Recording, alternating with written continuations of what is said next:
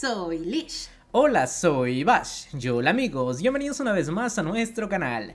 Y bueno, el día de hoy, como ya es costumbre en el canal, bueno, algunas veces les tenemos los spoilers del capítulo 419 del manga de Boku no Hero Academia, ya que sí, este capítulo será una absoluta locura, de verdad. Sí.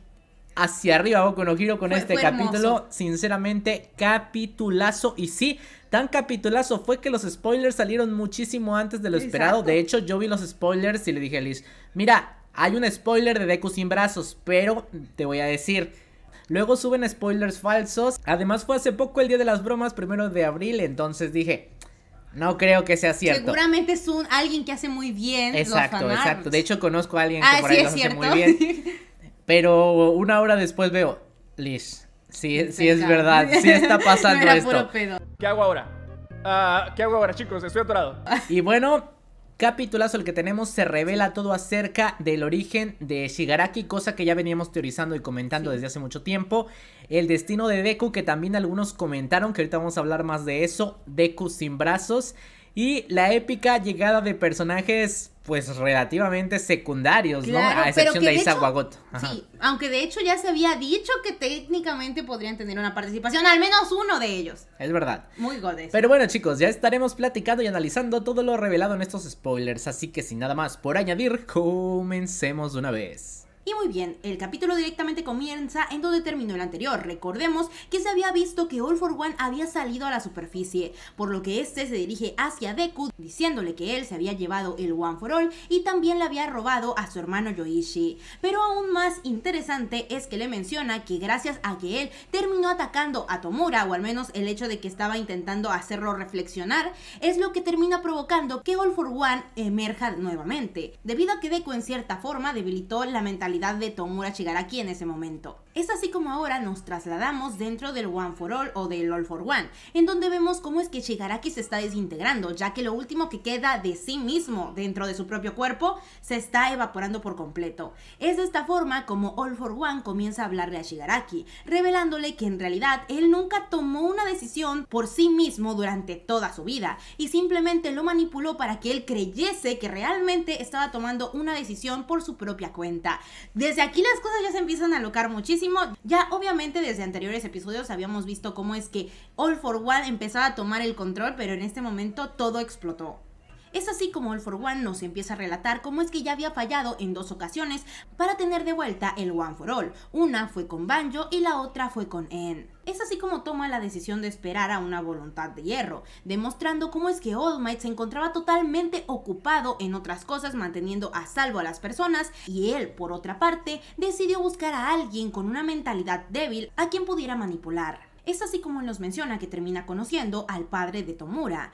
Y esto es muy importante, ya que obviamente cuando lo conoció se dio cuenta de que ya tenía una hija, es decir, la hermana mayor de Shigaraki. Pero debido a que esta chica ya era muy grande, para él iba a ser un tanto más complejo el manipularla. Es por esa razón que convenció al padre de Shigaraki de tener otro hijo. Eso me pareció súper loco, pero me gustó. O sea, digamos que lo controló a tal nivel que incluso pudo manipular ese tipo de decisiones. Y aquí yo me pregunto, ¿cómo convences a alguien de que tenga un hijo? O No sea, sé. le das comida afrodisíaca y después lo mandas a su casa. Pero bien, continuando con la historia, se nos revela que una vez que Tomura nació, All for One le quitó su verdadero quirk, cosa que me deja en duda cuál era el verdadero quirk de Tomura, pero bueno, F porque ya lo perdió de cualquier manera, y ahora se nos revela cómo es que Tomura terminó recibiendo el quirk de deterioro, y fue justamente cuando Tomura como que se perdió y All for One terminó llevándolo hacia su casa. Una escena que de hecho ya habíamos visto anteriormente, que fue justamente el momento en el que todos empezaron a especular acerca de que probablemente el queer de deterioro no era de Shigaraki, sino que All for One se lo había dado. Y también otra cosa que se nos muestra aquí es que al parecer All for One de alguna forma como modificó su rostro, ¿no? Como que Exacto. es otra persona, o sea, All for One, no sé si tenga un queer también, pero puede cambiar de rostros al parecer, o tal vez con alguna operación, sabemos que estaba Oh, deforme. claro. Eh, pero esto también me llama la atención y yo sigo manteniendo la teoría. ¿Y qué tal si más adelante All for One revela que sí es el padre de Deku? O sea, creo que "No me la arre". teoría sigue abierta en ese aspecto. Claro. Además también el hecho de que All for One le haya robado su quirk al nacer como lo hizo con Shigaraki. No sé, todavía hay una posibilidad ahí. Y vamos a ver cómo se desarrolla. Algo importante es que justo como dice All for One, él se guarda las bombas o las noticias que perturban la mente de su rival en el momento correcto para hacerlos caer. Entonces, por eso que, por ejemplo, no habría revelado nada de lo de Deku y lo haría en un momento en el que se encuentren muy tensos en la batalla para así sacar de sus casillas a Deku, pero bueno. Como tipo decirle de, ¿sabes por qué tu padre no te ha llamado en todo este tiempo? Exacto. Sería terrible. Tu padre con quirk de fuego. y cambia el y, rostro. Y le ponen las pequitas, ¿no? ¡Ah! Vaya, no encuentro fallas en su lógica. Sí, es cierto, ahora ya no las pecas no son necesarias, son sí. irrelevantes con esto del cambio de cara, ¿no? Bueno, también depende, ¿no? Porque si tuvo un hijo, tuvo que haberle heredado genes, pero quién sabe, puede ser. Pero si le robó el quirk. Pues no sé. Puede ser. Sí, no sé. Puede ser. Que tal vez entonces las pequitas sean parte del quirk de Deku original y Deku sí tenga quirk. No lo sabemos, no lo sabemos. Dios mío. Pero bien, a partir de aquí también se nos explica algo muy interesante. Y es que al parecer el quirk que All for One decidió brindarle a Shigaraki, debido a que tenía la cualidad de destruir las cosas, pero también tenía otro lado, el de reconstruir. De hecho, supongo que su cualidad es algo similar a lo que pasa con el quirk de Overhaul, debido a que también tiene la cualidad de destruir y reconstruir las cosas. Pero en este caso, lo que hizo All for One fue eliminar la habilidad de reconstruir, dejando un quirk totalmente destructivo. De hecho, básicamente yo creo que sí podría ser ese cuero, o sea, exactamente el mismo, pero justamente con la cualidad que se comenta, el hecho de que le quitó lo de reconstruir y así solo se volvió poder destructivo. Yo nada más digo que esta relación a Overhaul nos podría llevar a que regrese. en conclusión, Overhaul confirmado. Exacto, la esperanza de Overhaul regresa Entiendo. a mí. Pero bien, finalmente observamos cómo es que Shigaraki termina por desintegrarse totalmente de dentro del queer del One for All y el All for One, para finalmente dirigirnos nuevamente con All for One, quien nos menciona que esta carta, el destruir a Shigaraki, la pensaba usar una vez que tuviera por completo el One for All. Pero igualmente las cosas ya han sucedido. Tras estas rotundas palabras, finalmente, vemos cómo es que el Deku niño, el cual aún está sin brazos, es directamente proyectado hacia el mundo real, básicamente, básicamente expulsándolo del mundo de estos quirks.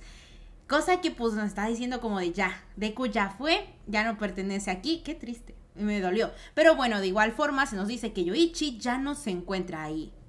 Y bueno, de esta manera ahora sí finalmente regresamos al mundo real, donde observamos la nueva apariencia de Shigarafo, ahora sí lo podemos llamar, Sí. o ya sería All for One totalmente en el cuerpo de sí, Shigaraki, ¿no? algo así. De cualquier manera observamos que finalmente All for One dice que su plan ha dado resultado, aunque no tal cual como él lo esperaba, pero de cualquier forma ha sido un éxito.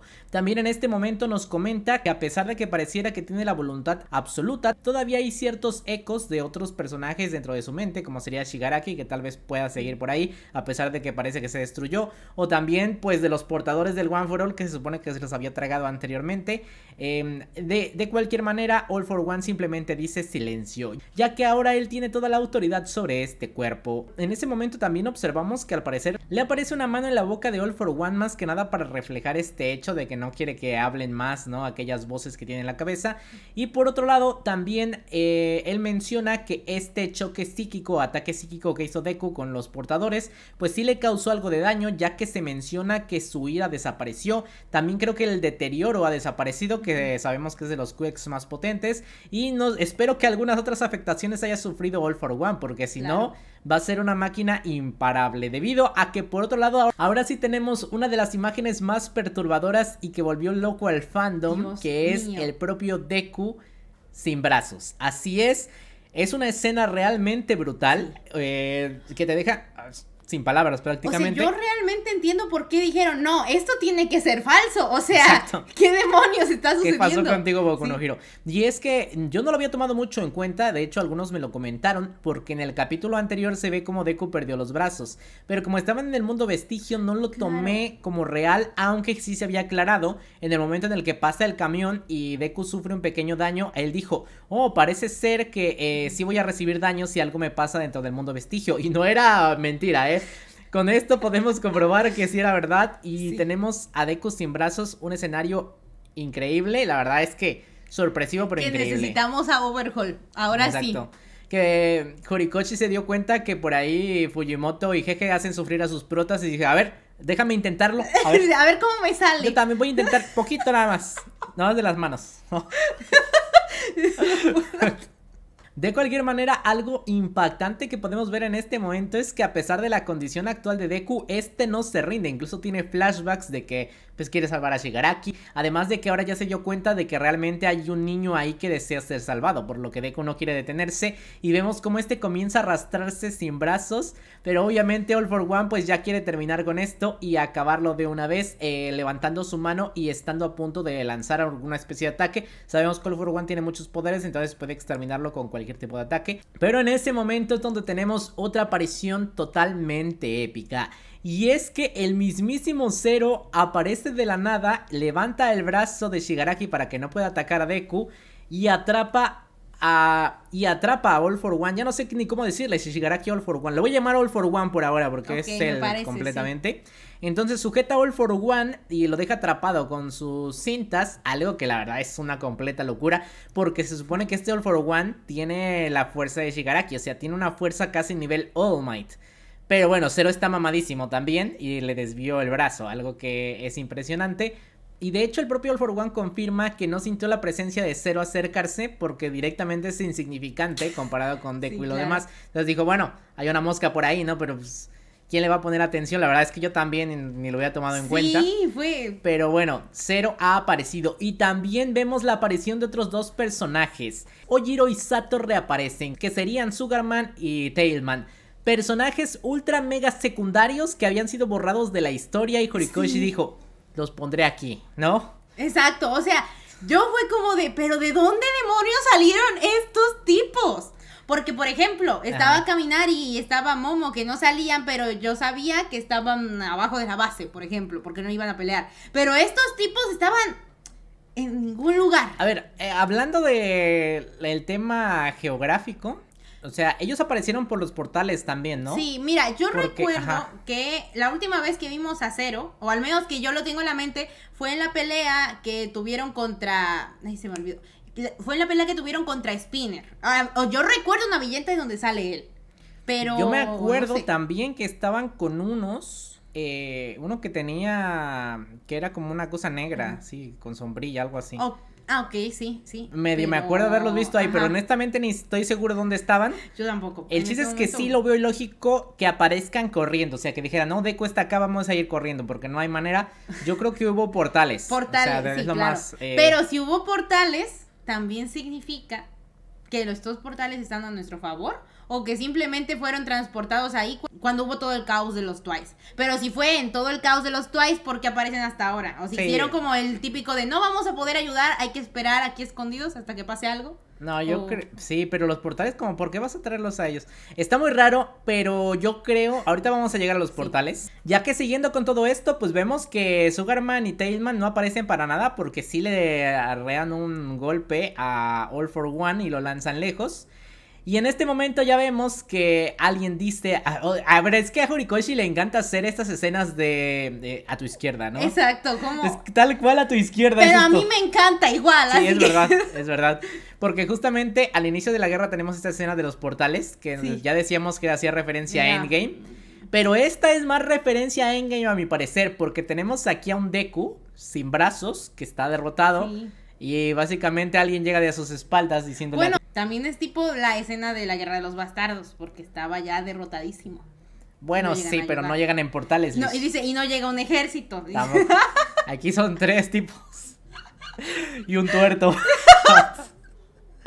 Peor. Pero ya bueno. lo spoileaste. Pero bueno, justamente el tuerto es el mismísimo Aizawa, ya que dice que al parecer pues están relativamente bien, aunque sí llegó algo tarde. Sí. Terminando de esta manera uno de los capítulos más épicos de Boku no Hero Academia en mucho tiempo. Preguntas y cuestionamientos en este punto. A ver, Entiendo lo de Aizawa, o sea, este llega, le va a quitar los quirks a All for One, bien. Pero como ya lo comenté antes, independientemente de eso, tenemos casi a un Might. Entonces, Claro. entiendo que Zero está mamadísimo por lo que vimos, pero no sé si estos tres tipos vayan a poder tanquear la situación. Dudo mucho que así sea, Yo ¿no? igual, no sé. Eh, puntos a favor. Yo creo que claramente Kurohiri ha regresado. Claro. O sea, Kurohiri está ya del bando de los héroes. Justamente lo que mencionaba, yo creo que estos tres héroes llegaron por portales.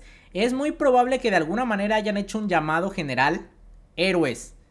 ¿Quién se encuentra todavía en condiciones de pelear? Yo creo que han de haber dicho, a ver. Sí, Dice, ¿quién ya el que levante la caiga, mano? ¿no? Sí, sí, sí. Dice, si no tienes un brazo, igual.